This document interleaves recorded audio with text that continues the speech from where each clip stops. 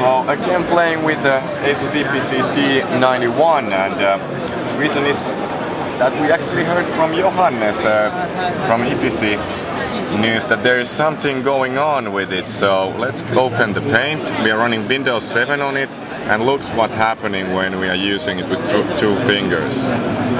So I believe they have a multi-touch on it but uh, they haven't announced that to, to any anyone. So that's kind of cool cool feature. Let's see if we can do anything else with it. Let's try to if the scrolling works no we can oh yes so we can actually zoom websites and so on. So so even they didn't tell me tell uh, tell us on the CeBIT or CES but right now you can really see that it's it's multi-touch display have to find out more information on that of course but right now we are already really happy because I'm getting this this one soon so expect all the Windows 7 multi-touch uh, features working on Eee PC T91 soon and uh, you will soon see me playing a bit more with that.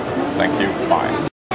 So here still playing with the T91 and actually just got information from Asus that uh, it's not shipping with the multi-touch screen but uh, but uh, the version with Windows 7 will ship with that screen so sad but true but still a good thing to know that we will we may be getting that soon. Thank you, bye.